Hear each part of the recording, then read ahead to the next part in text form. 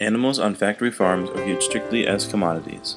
Their comfort and health is not a prerogative because, like all things, they have an end, and that end comes quite quickly on these farms. They are not able to act as nature intended. Most of these animals will never see the sun or a real blade of grass in their life. Instead, they are kept in battery cages, metal crates, or crammed into filthy feedlots. Because of the massive amounts of animals in such crammed environments, many animals develop abnormal behavior and physical deformities. Pigs are extremely intelligent animals, more intelligent than dogs, and they need space to express their curiosity. However, on most factory farms, pigs are kept in metal gated areas so small that they cannot even turn around. Michael Pollan, professor of science and environmental journalism at the University of California, Berkeley, and author of The Omnivore's Dilemma, describes pig confinement operations as the following. Explain how these animal operations work. Well, a pig confinement operation is a uh, is a pretty hellish place. Um, there are you know tens of thousands of animals um, kept jammed together. Um, the animals are so close together that they have to snip their tails off because the animals are so neurotic. I mean, pigs are very intelligent. They're smarter than dogs.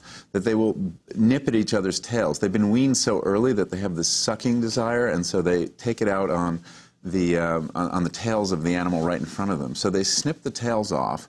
Um, not to stop the procedure, but to make it so painful that animals will avoid having their tails bitten, uh, just to make them raw and painful. They administer um, antibiotics to these animals on a regular basis because they could not survive without them.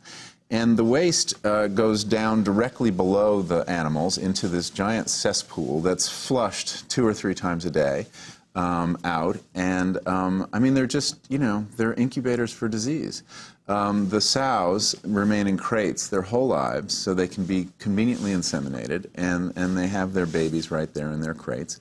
Um, you know, to go to one of these places is to stop eating industrial pork, basically. I mean, if we could, if we could see into this industrial uh, meat production, it, it would change the way most of us eat.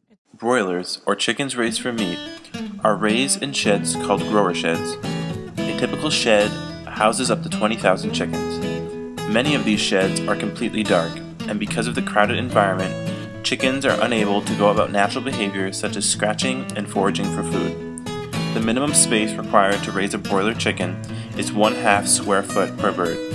However, the National Chicken Council brags that with a traditional shed that would hold 20,000 birds, that would have 16,000 square feet, which would allow for a spacious 8 tenths of a square foot per bird. Today, poultry are raised and slaughtered in half the time it took 50 years ago, but are twice as big. Because chickens have been selectively bred to grow at such a rapid pace, Chickens' bones and internal organs cannot keep up with their muscle growth. Many broiler chickens cannot even walk because of the immense amount of weight they carry around. Antibiotics are also administered to chickens on a regular basis in their feed. However, when chickens ingest a steady stream of antibiotics, bacteria can mutate and eventually become immune to antibiotics. Today, 80% of all antibiotics in the United States are administered to livestock. That's uh, corn silage, high moisture corn, which is uh, the yellow kernels you see, and then we feed some byproducts, potato chips, uh, and a chocolate blend, um, which is uh, has some cocoa shells. Uh, uh, you see some M and M's with it. At the beginning of the century, cattle were free to roam the rangeland and to eat grass like nature intended. But as the demand for cheap beef increased, chiefly brought about by fast food companies, cattle were raised on feedlots and fed an unnatural diet of grain and other byproducts, which can include things like potato chips, bubblegum, and even other dead cows. Although most cattle are raised on feedlots, which are outside, many are overcrowded and stressful, and animals live in their own feces and urine. Cows are ruminants. Ruminants are mammals that ingest plant food and soften it in their first stomach, and then regurgitate the semi digested food called cud and chew it again. Cows that live on feedlots are fed a diet that consists of mainly corn and soybeans. However, starch is extremely unhealthy for ruminants. Ruminant stomachs, unlike the highly acidic stomachs of humans, are pH neutral. When fed a diet of corn, cow stomachs can become very acidic. The result is a sort of cow acidosis, This condition can lead to diarrhea, ulcers, bloat, liver disease, and a general weakening of the immune system that leaves the animal vulnerable to everything from pneumonia to feedlot polio. Because of this, they are also pumped full of antibiotics and feed additives to combat illnesses that they develop. Regardless of their start, all livestock are sent to the same place in the end slaughterhouse. Although the Humane Slaughter Act was initiated in 1951, it is more than inefficient.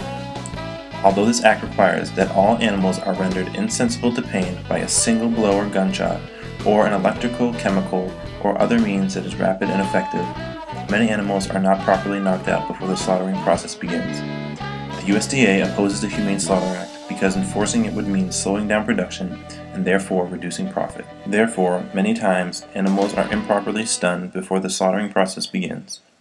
Animals are skinned, gutted, and boiled alive. In Slaughterhouse by Gail Eisnitz, multiple workers from multiple slaughterhouses admit to abusing animals or seeing abuse in their slaughterhouse. Dave Carney, a meat inspector, says the following Quite often, uncooperative animals are beaten. They have prods poked in their faces and up their rectums. They have bones broken and eyeballs poked out. Additionally, poultry and rabbits are exempt from the Humane Slaughter Act. Former Tyson slaughterhouse worker Virgil Butler recounts his experiences as a sticker.